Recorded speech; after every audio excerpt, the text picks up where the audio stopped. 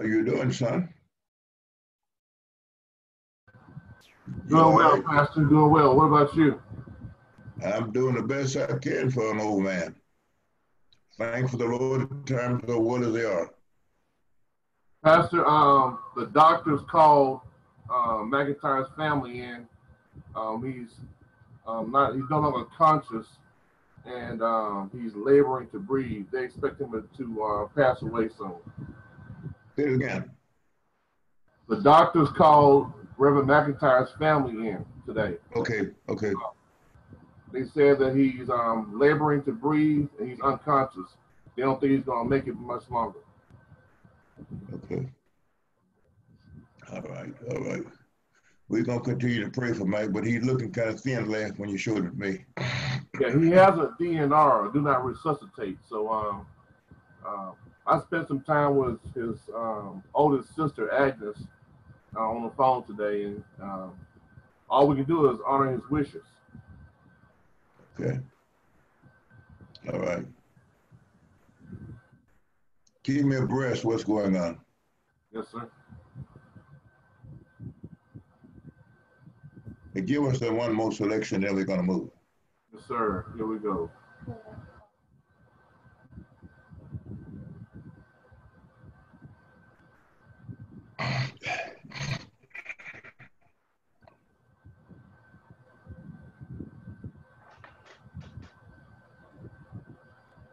one second, Pastor.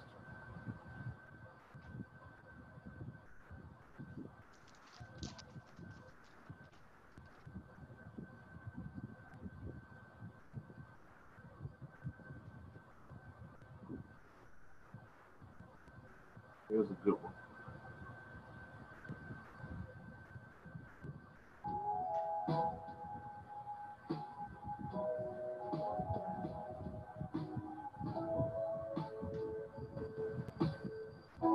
Got to know everyone. everyone. Can you hear it? You can, you hear it, Doc?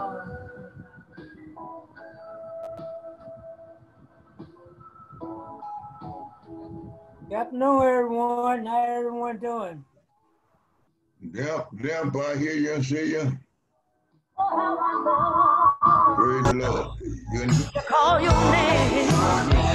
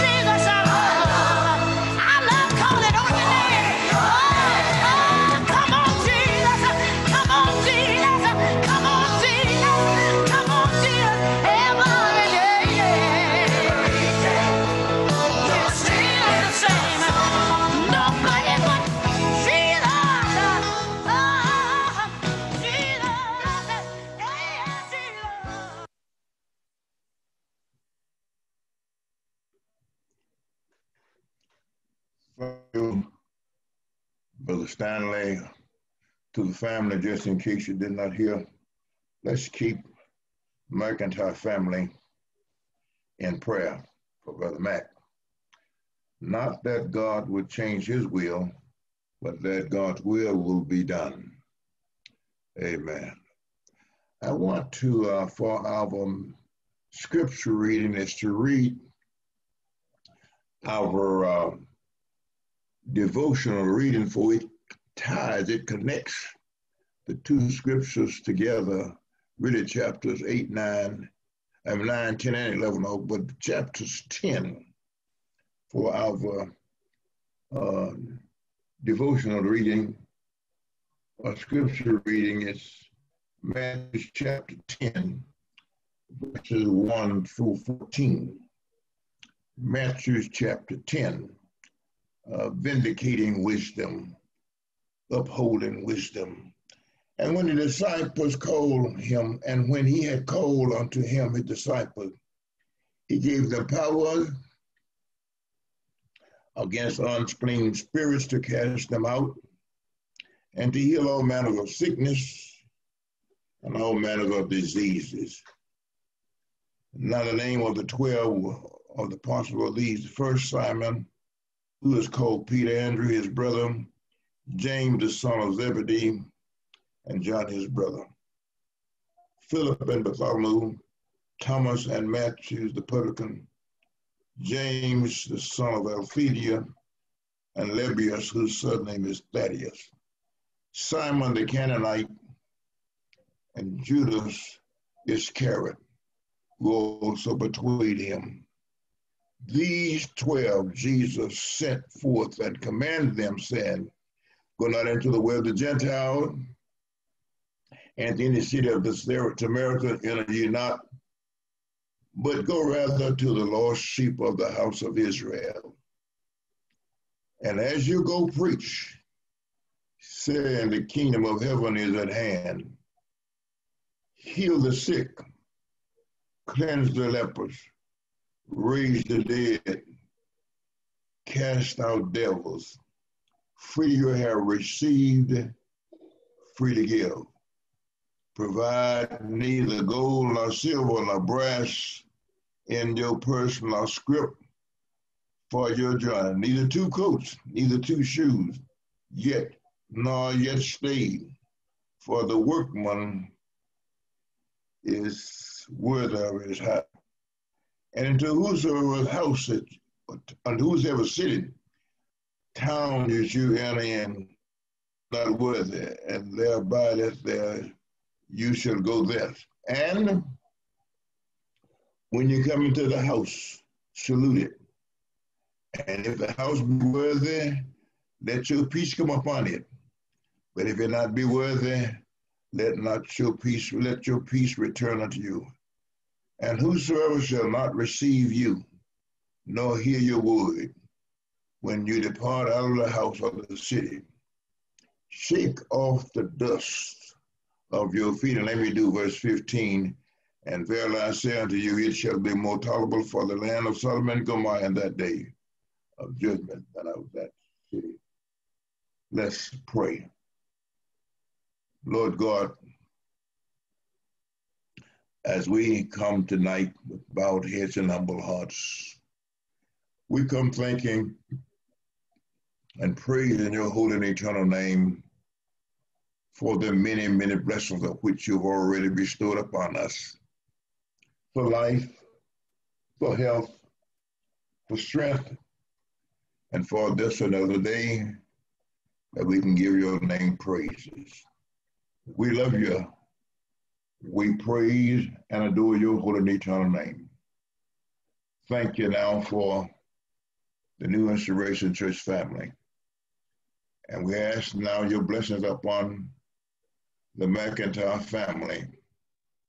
And ask continue to give strength that they may know that you are God of truth and love, and you always do that which is right. Thank you now for another day. Bless me that I might become a blessing as you bless me. I will be careful to give your name the praises.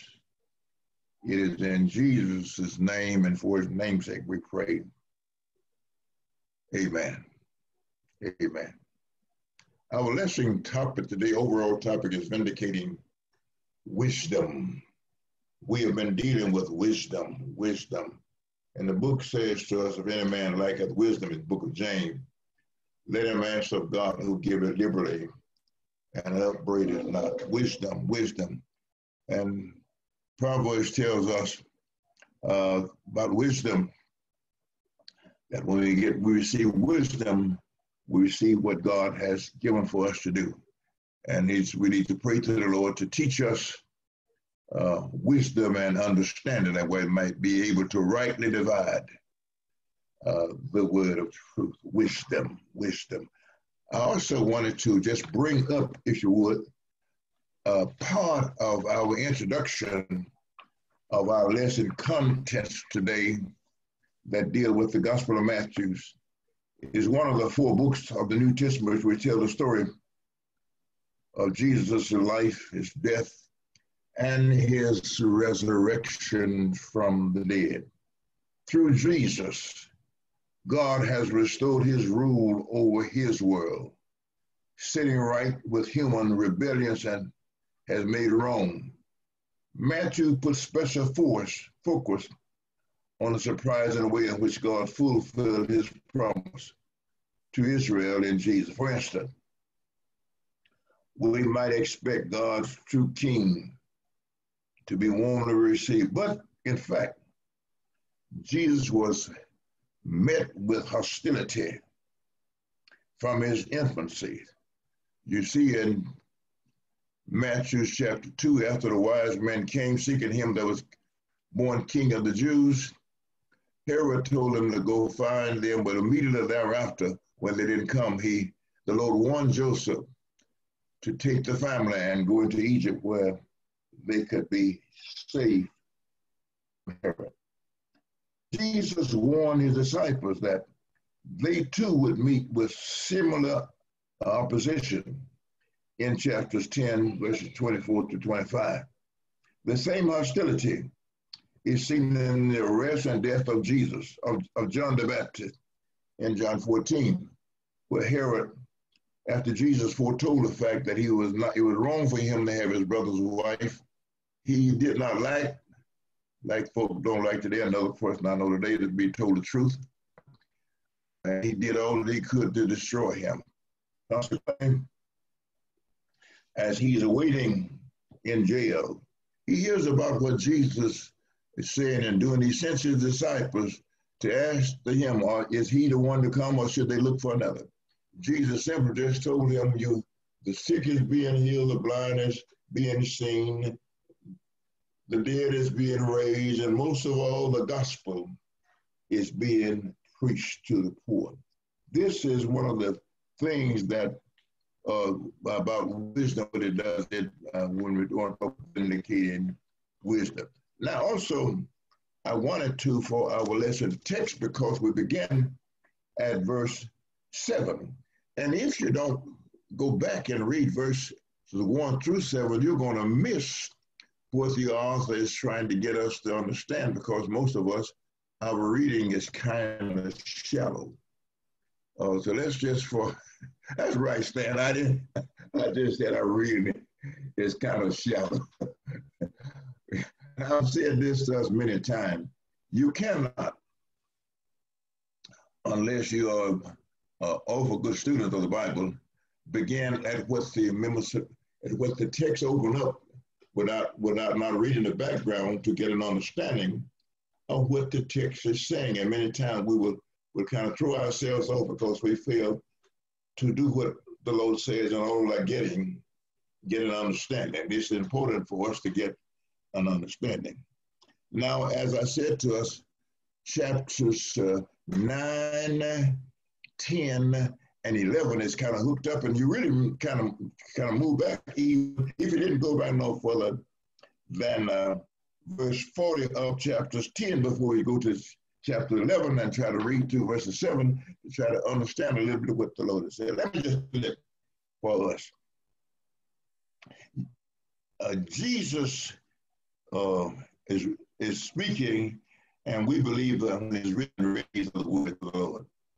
He that receiveth you receiveth me, and he that receiveth not me receiveth not him that sent me. He that receiveth a prophet in the name of a prophet shall receive a prophet's reward.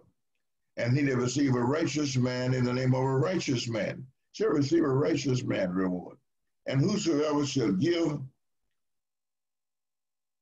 unto, and whosoever give drink unto one of these little ones a cup of cold water, only the name of the disciple, shall I say unto you, he shall in no wise lose his reward. And you can see the coordinating conjunction here, which really, you see this is being hooked on together, coordinating junction. And, and it came to pass when Jesus had made the end of his commandment, his the 12 disciples, he departed then to teach and to preach in our cities.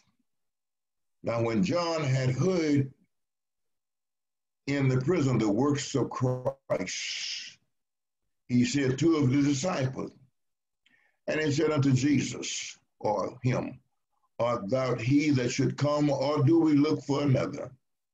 Jesus answered and said unto them, Go and show John again, which implies doing it again, those things which you do see or hear and see. The blind receive thy light, thy sight. The leopard walk, uh, excuse me, the lame walk, the lepers are healed, the deaf hear, the dead are raised up, and the poor have the gospel preached to them. And blessed is he whosoever shall not be offended of, not be. And that's why lesson picks up, and they departed. And they departed. And as they departed, Jesus began to say unto the multitude concerning John, What went ye out into the wilderness to see? A reeve shaken by the wind. Shaken by the wind. The word they refers to John the Baptist messengers concurrent with Jesus' departure, depart, depart, departure. Jesus requires, Jesus speaks to the multitude regarding the attitude toward John. And attitude plays an important and practically everything you. That's why even now and then sometimes folks say we need to have an attitude adjustment. We have an attitude get bad towards them. We need kind of need an attitude adjustment, attitude toward John. The large group likely includes those who had already considered themselves students of Jesus, others who are merely curious about his power and and his teaching, and still others who are skeptical or even hostile. Jesus' rhetorical question, except his audience to scoff at the idea that John had been certainly not. He is not easily shaken as a reef, and whichever wind come along, John boldly told permanent and self-satisfied that they have no standing with God unless they repent. In chapter three of the book of Matthew, where John stands, he's preaching and teaching and he sees the Pharisees coming. And he says to them, O ye generation of viper, who have warned you to flee from the wrath to come. Bring therefore meat for repentance. For the axe is laid at the root of the tree. And if you're not right, the tree is going to be cut down. And he uses this, he uses here a rhetorical words. It's going to be cut down and thrown into the fire, which implies to us that the fire is for those who have not accepted the will of God. I don't care how well you talk, but if you have not accepted the will of God, the fire it's going to be for for you. Then, but what went you out to see a man clothed in a raiment? Look, behold, they that wear soft clothes are in the king's house. Kings wear soft clothing at that time, and clothing were very important, uh, and they were very expensive, and everybody couldn't couldn't wear fine clothes. In fact, John himself, he was he had a strange retirement. He had uh, he was dressed in camel hair, and a leather girdle was about his loins, but uh, his retirement had nothing on to do with his mannerism of preaching. He kind of symbolized, if you would, uh, uh, Elijah. Elijah was dressed primarily in the same manner. He had a leather girdle about him and camel hair, but he also had the courage to go before the king and let the king know what thus said the Lord in chapter one of the book of King. John's closing are anything but soft. Uh, the contrast in clothing which the people who lived in King house is pointing to a different lifestyle. John is like we need to be today. He was a bold spokesman. He didn't mind uh, telling people what thus says the Lord. He was bold. Uh, people are able to look past his attire and see that individual was was with their worldly agenda may try to get what they want by flattery. Uh, and that's going to see that in John in Acts chapter 12. But they won't work with John. The Baptist, his attire suggests that he has nothing and he wants nothing of earthly value. Most of us, we care more about worldly stuff than we do about spiritual things. And we fail to understand that Paul had already written, or he writes later on, the love of money is the root of all evil. Most of us don't like to admit it, but we're kind of in love with money. Money is not the answer to all things. We say it is, but money is not the answer to all things. Only the word of God is the answer to all things. Have you ever found yourself in front of a fruit stand? This author said, you know how we do sometimes, checking through the fruits to see which one looks the prettiest, feeling them, picking them up to be look the finest, only to get home and bite into it and find that it was not as good as we thought that it was. Many times, uh, uh, looks can be deceiving. Amen. Looks can be deceiving. So you need to go beyond looks and get to what the Lord really is saying. When you hear the gospel preached, what matters most, the outward appearance of the messages or the quality of the message? It's not how you look, but it's how well you speak about him of whom you represent. Most of us spend more time trying to look good, and our message is kind of short. We need to get our message together and don't worry about our attire. Verse 9a says, But they went, but what went you out to see? A prophet? Having exposed, observed the fictitious reason for seeking out John, Jesus began to offer the real the Baptist because they believed him to be God and or in God.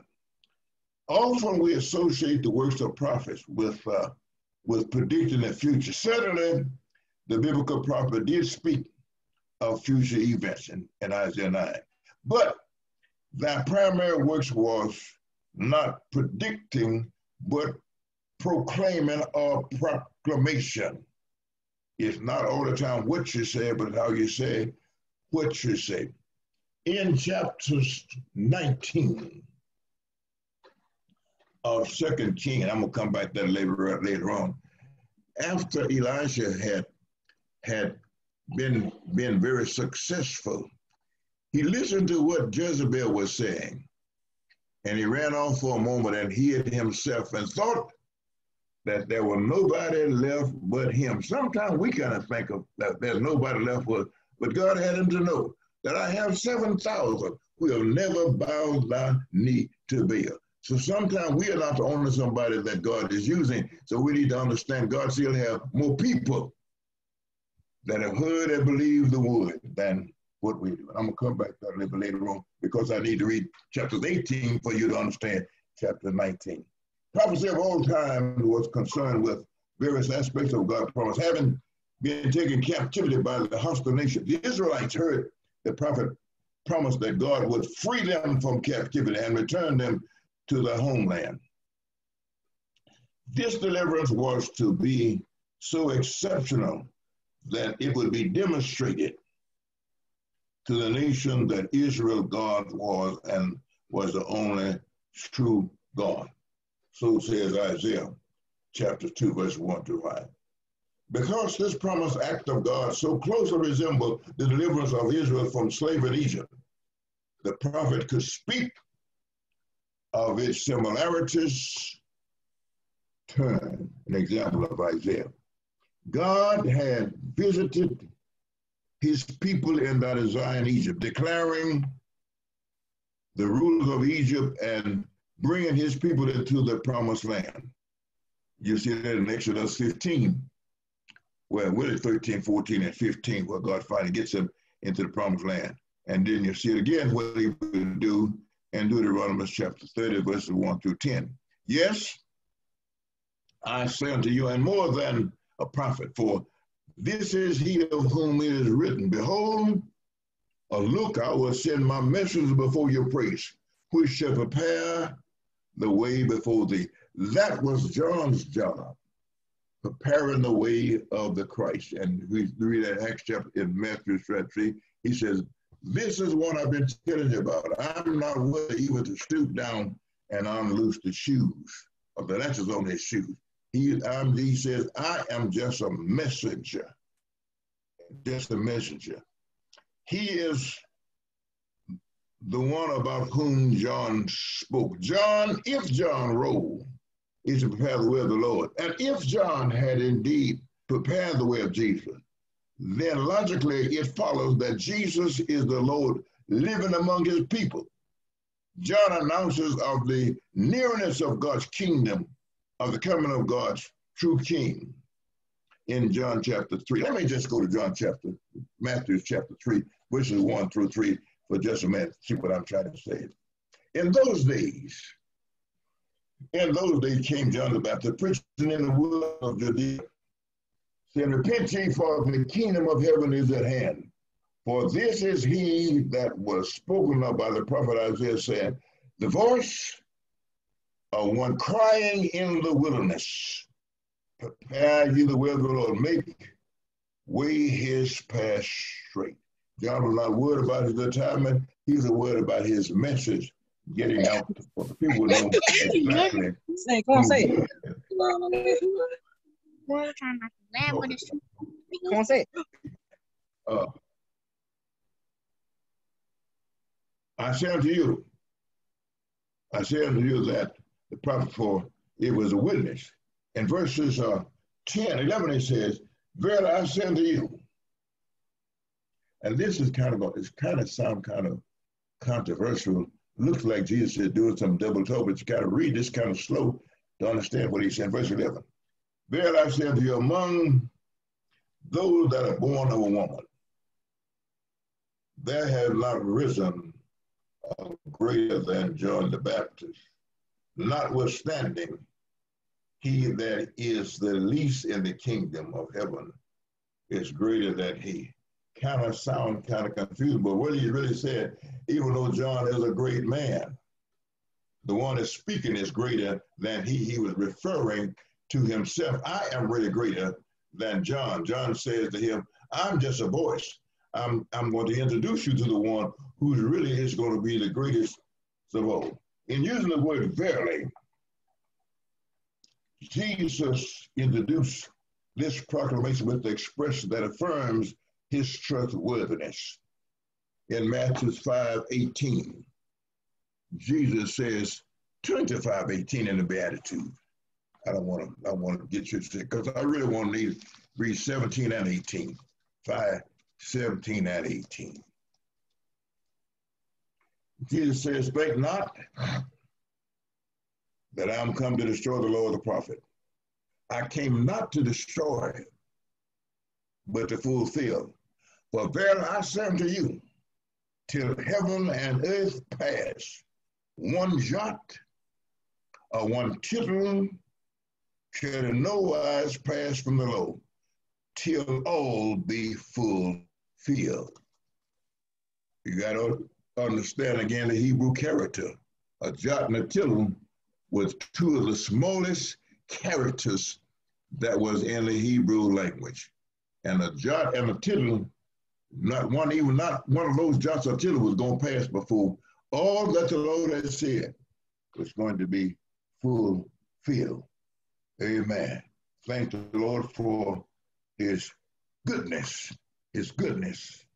Uh, Jesus is challenging his audience to rethink the understanding of the kingdom of heaven. Jesus' contemporaries believe that the kingdom of God will, will be established in a, in a political way. That's not what Jesus was talking about. And you can see that in John 1 6. When Jesus is, is, is getting ready to go home, his disciples said to him, Lord, will thou at this time show us or restore to us the kingdom of Israel? Jesus said, That's not your business when that's going to be, but you're going to receive power.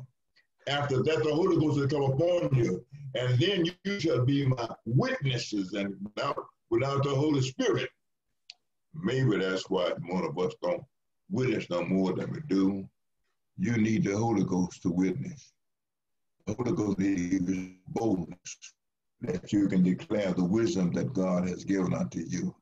And most of us, we talk a good game, but few of us want to be a witness for the Lord.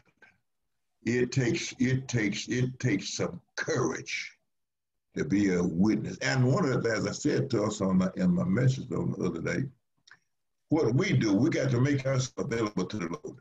And when you fail to make yourself available to the Lord in your actions and your life and your living, many times we have messed up so bad that we cannot actually uh, tell people about the Lord because they want to point fingers at us and said to us in so many words, if you can make it, living like you're living, then I'm going to make it. But God's intentions are much broader than that. His kingdom is and his promises reign over the world. In Philippians 2, uh, Jesus talks about the fact, let me just turn that. Philippians 2. Philippians 2. Philippians 2, verses 10. 11, 12. Philippians 2. Galatians, Galatians, Ephesians, Philippians chapter 2.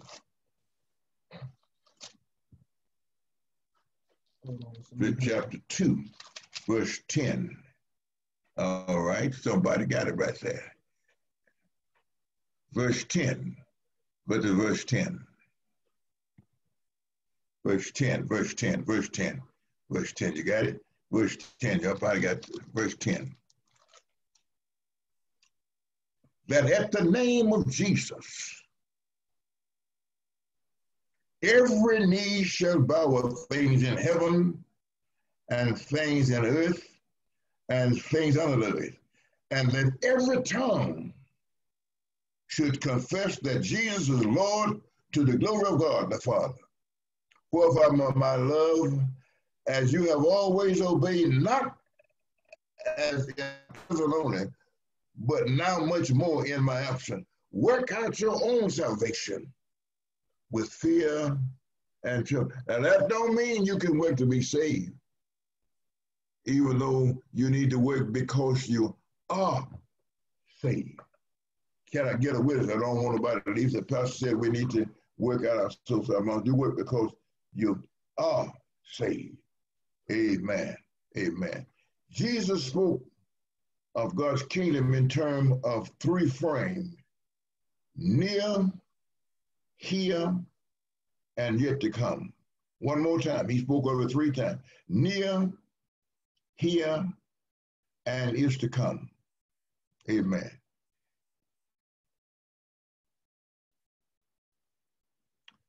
Jesus spoke of his came in three times. Jesus speaks of it. But as Jesus is healed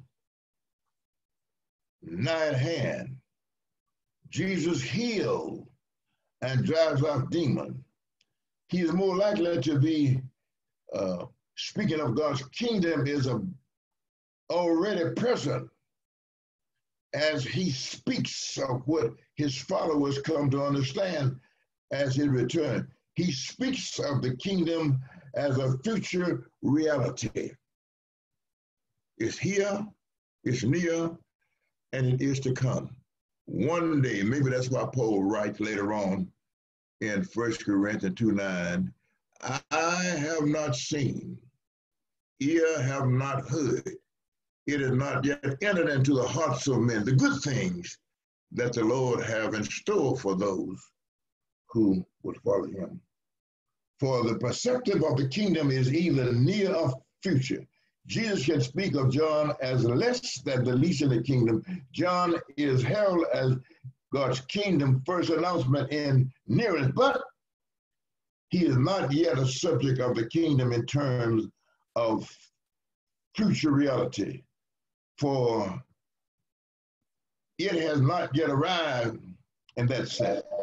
God has done great things to John, but God will do greater things through and for the subject of God's kingdom by the way of Jesus and the resurrection. You see in, in John 14, 12, well, back in John 11, when he comes into the neighborhood of where Mary and Martha lived, she said to him, Lord, if you would have been here, our brother whom you love would not have died. Jesus says to her, I am the resurrection and the life. He that believeth in me, though he were dead, yet shall he live again. And then he says to us to believe that. Now, also in John chapter 14, he says in verses 12, Verily I say unto you, he that believeth on me, the work that I do, shall he do also, and greater works than these shall he do, because I go unto my Father. 13. And whatsoever you shall ask in my name, that will I do, that the Father may be glorified in the Son. If you shall ask anything in my name, I will do it. Now that's in court, that's according now to what the will of God is saying in God's name. That don't mean you go out and ask the Lord to kill somebody that you don't like. That's not in the name of the Lord. Sometimes we sometimes we get things all kind of mixed up a little bit. That's what I'm saying. And you need to go back to chapter six of the book of Matthew to understand that. When he says, Thy kingdom come, thy will be done in earth as it is in heaven, is that God's kingdom is yet to come, and his will is yet to be to be done. Verse 12.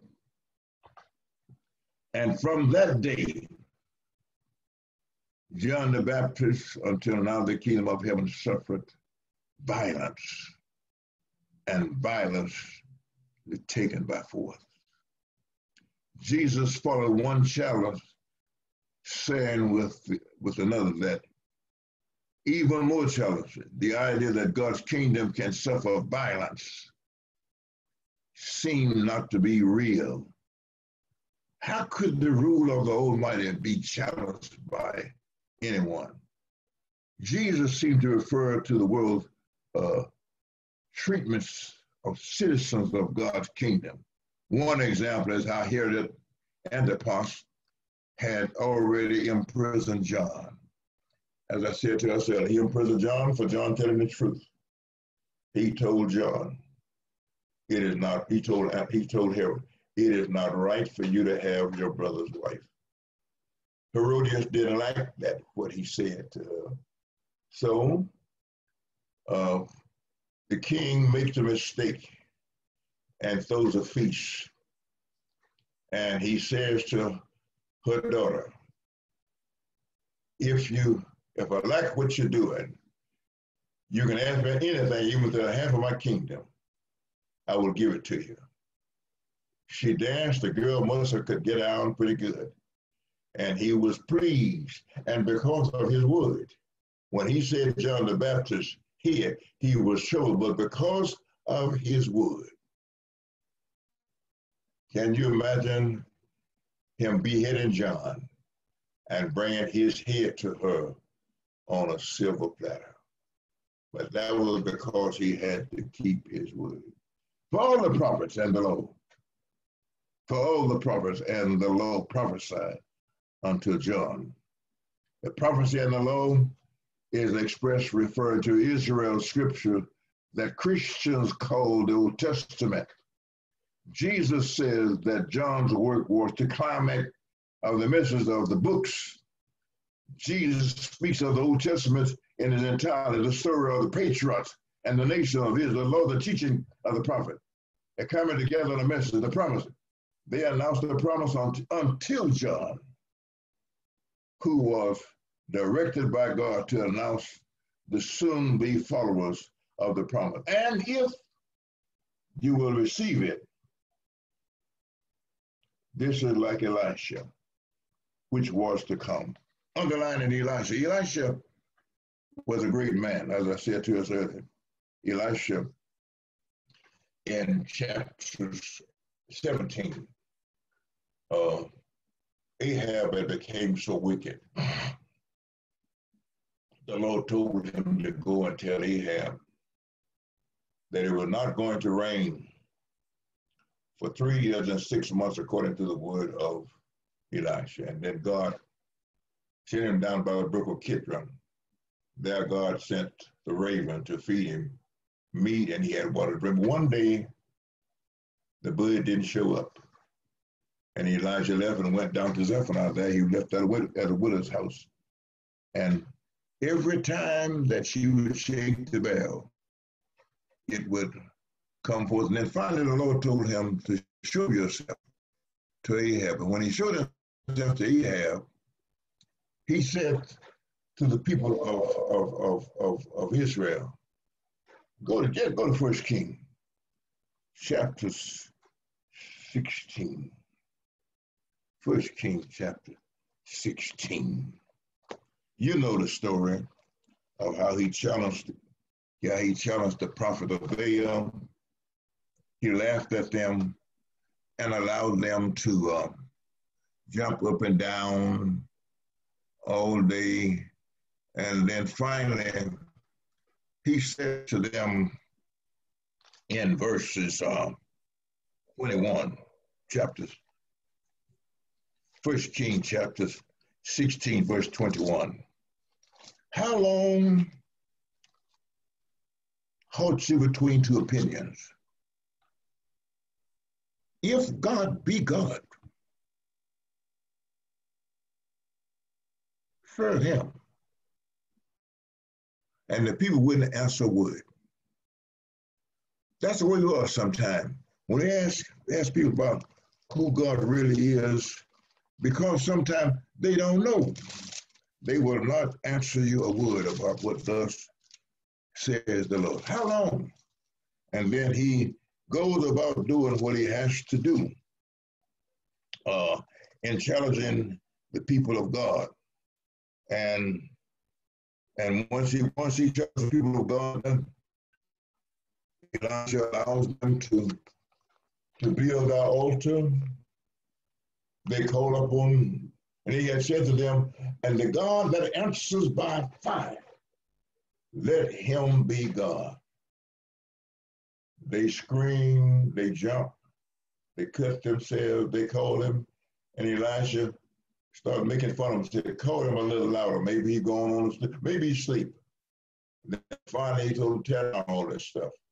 Tear down all this stuff. And he built his altar.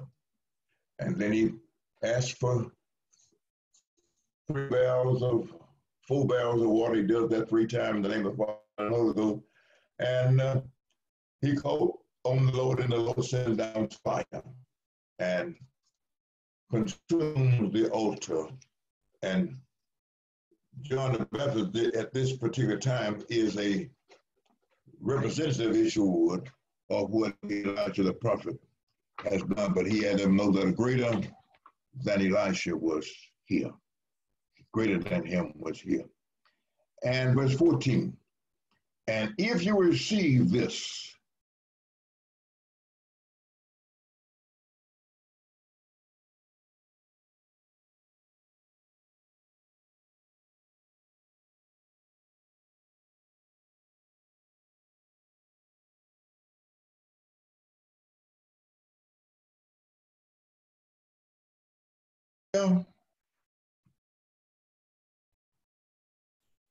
Jesus sometimes in the discourse, uh, conversation with the word of warning and encourages people.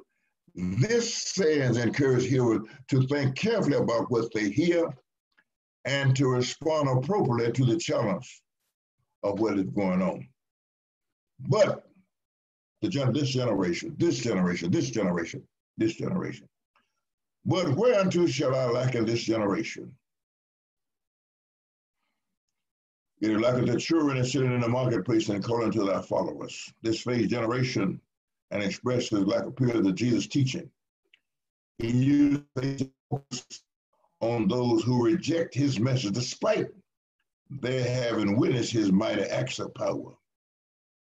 Though Jesus' contemporary may not realize it, they ref- their refusal to trust God paralleled the same attitude as our ancestors during the Exodus. That refusal resulted in the wilderness until all the generation died off. Because they refused to accept the Lord, the Lord allowed them to 40 years to be able to look into the promised land. And they were not able to see it because they had refused to accept what thus said the Lord. And what these people did, these young children perhaps, they said they piped unto them, which means they played music for them, but they would not dance. We have mourned unto them, but they would not cry. Uh, the children of Israel began to began to to wail as if feeling, but others cheering, but others children still did not join. Regardless of how the situation, the other children never offered the expected response. The idea seemed to be that the generation Jesus is crucified is criticizing want him to dance to that tune. We said dance to my music, but Jesus will not dance to that tune. And sometimes we think that if you got to dance, you don't dance to that tune. Ain't nothing gonna be happening. But Jesus will not dance to that tune. Neither would John the Baptist. For John the Baptist came neither eating nor drinking. And they said John the Baptist had a devil. The two actions of the cheering of the uh, the marketplace suggest the contrast that Jesus now makes. John the Baptist lived under the vows of the Nazarites. He wouldn't cut his hair. He refused to drink strong wine. Jesus came eating, drinking with them, and they said that he was a glutton uh, and a wine bibbler. And most of all, they said that he was a friend to the Pharisees and sinners. How I thank God for being a friend to the sinners. I don't know about you, but I am a sinner saved by the grace of God. And had not God came to be a friend to the sinners, oh Lord, I know I would be in trouble. And I got a sneaky feeling that you too would be in trouble. By contrast, it is known as the banquet given to those at the market. The tax collectors was regarded by his fellow Jews as being forfeited and standing before sinners when notorious in their community for violating God's law. Jesus is called a gulliver, or he drank too much, and a wine blibber. For his association with such people at the meal, Jesus, of course, has an explanation. He come to save just such people as as that. That's why he came into the world.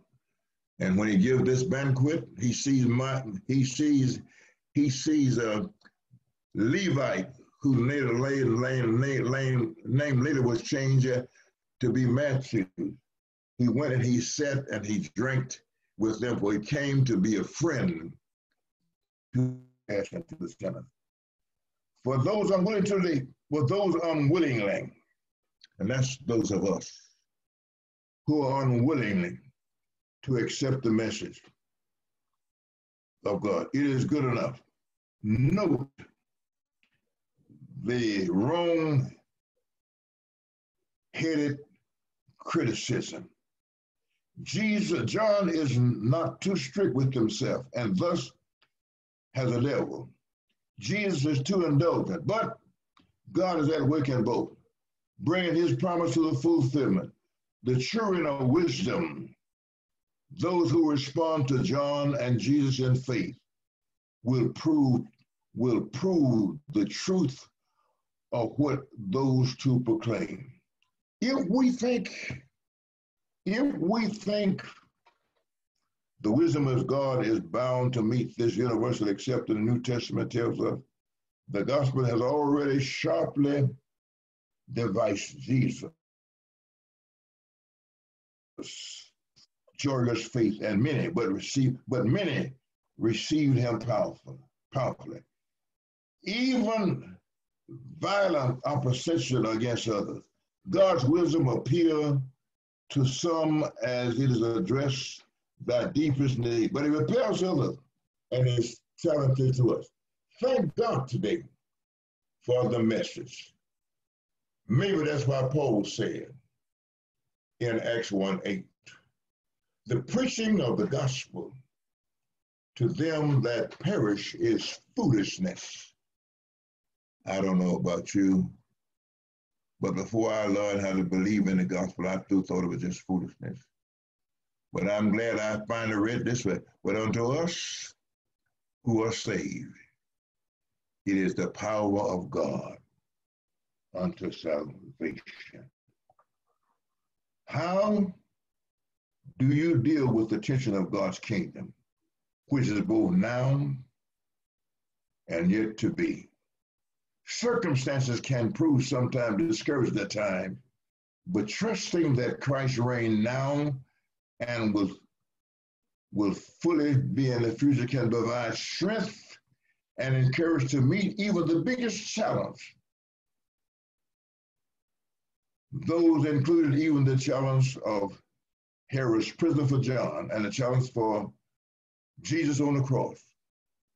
The strength we have in Christ Jesus is the strength that will vindicate the wisdom of God.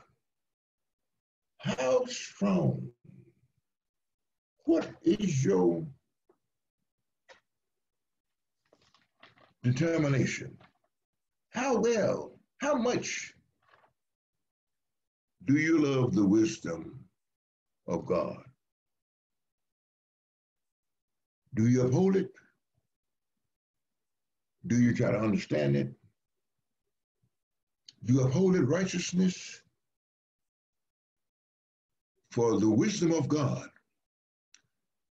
And when you read the book of Corinthians, the wisdom of God baffles, if you would, those who don't understand the ways of God.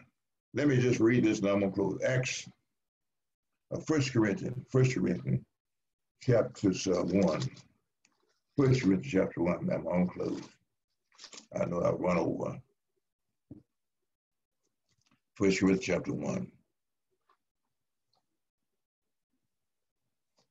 Verse 21. Verse 20. Verse 19. For it is written, I will destroy the wisdom of the wise and will bring to nothing the understanding of the prudent. Where is the wise? Where is the scribes? Where is the spirits of this world? Has not God made foolishness the wisdom of this world? For after that, in the wisdom of God, the world by wisdom knew not God. And it pleased God by the foolishness of preaching to save them that believed. Somebody listening to my voice today have thought that was foolishness. But by the wisdom, by the preaching by, of God, it saves those of us who believe in the words of the Lord God Almighty. Let us pray. Thank you, Lord, for another day. Thank you for life. Thank you for health. Thank you for strength. Thank you for the forerunner who came into the world to present unto us him who was your son. And I can hear him saying when he goes into the water, I have need to be baptized of thee, so says Matthew 3. But Jesus says, suffer it to be so now, for thus it becomes us to fulfill all righteousness. Then he suffered him, and the scripture said, and straightway Jesus came up out of the water, and a voice was heard saying, This is my beloved Son, and whom I am well pleased. Hear ye him. Thank God for those of us who have ears to hear. Ears to hear. Let us hear what thus says the Lord. Our mission pledge. I am persuaded by the teaching of the blessed Bible, by daily reading, meditation, and communion with my Lord and Savior Jesus Christ, to live an upright Christian life to practice his teaching in my dealing with my fellow man, to dedicate my talents to give my time and influence to the teaching of the young people. And last of all, for the spreading of the gospel to everybody everywhere. That's one of our ob- obligations that we have and that we should do. And once we spread the gospel to everybody, we will be doing what the Lord has said to us to do. Now to him that is able to keep us from falling and to present us faultless before the throne of grace. To him, the all wise God, our Father, be glory, honor, majesty, dominion, and power, both now and forever. And if you love the Lord, you ought to just wave your hand and say, Amen. God bless us. Have a smile upon us. God wisdom, God's wisdom, the vindication of God's wisdom. Thank you again for being so kind. Bless you. Have a smile upon you. It's in Jesus' name we pray. You. Amen. Thank you. Thank you. Man. Thank you. Hope that we will go back again and read it again. As I said, I know many of us don't read that much. But let's go back and read. Glad to see you, Brother Hill. I hadn't seen you for two or three times on that. Glad to see you, man. Amen. Amen. Amen. Thank you. Thank you. Thank you for being on today with us. Bless us. Eric Moore, glad to, see, glad to see your name up there too, boy. Glad to see you. Amen. Bless us. Bless us. Thank you so kindly and to see all of my sweet members who is on today. Thank you, thank you. Sylvia, we continue to pray for you. And as Brother Brother Mac, Brother Stanley told us about Brother Mac, let's pray that Thank you. our will be done, but that God's will will be done. Amen. Thank you. Thank you. Thank you. God bless you. Oh, yes. Let us not forget those of you who are doing it, we thank God for you. Send your gifts to New Inspiration Church, Post Box 3702 or 71133. Uh, God bless us. Have a smile upon us. Bless you. Bless you. Bless you. Amen. How you get out of you- Thank you, Pastor. Thank you, baby. Thank you, thank you. Okay. Have a good week, Pastor. Thank you, baby, Miss Miss uh, Dempsey. Lois.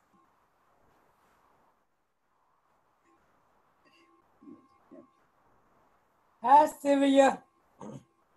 Hello there, Deacon. I'm fixing to hang up. We I ain't gave you permission.